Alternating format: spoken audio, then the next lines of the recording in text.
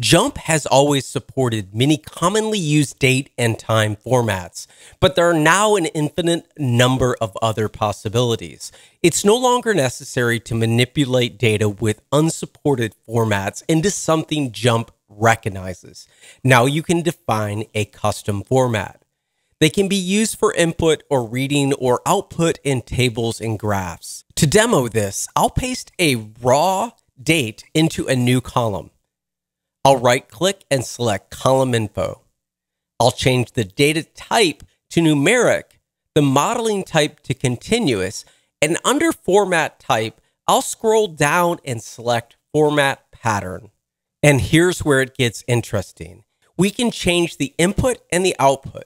The default is to use the input same as the output. For this example, I'm going to adjust both. Under the user input format area, I'll deselect use output format. Once we select the format pattern button, a edit format pattern window will come up where we can paste in our string or our pattern if we have it.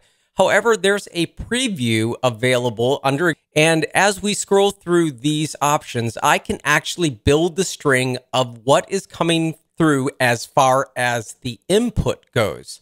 So I'm going ahead and building the string, the day. This one does not have a year. I'm doing the abbreviated month.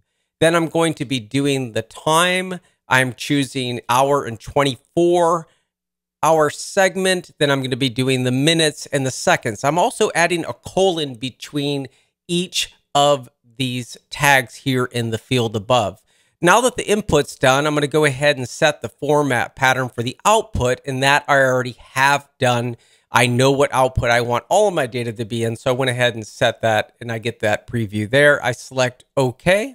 And in this one, I'm going to go ahead and hit apply. You'll see it change in the data table, and then I'm going to select OK.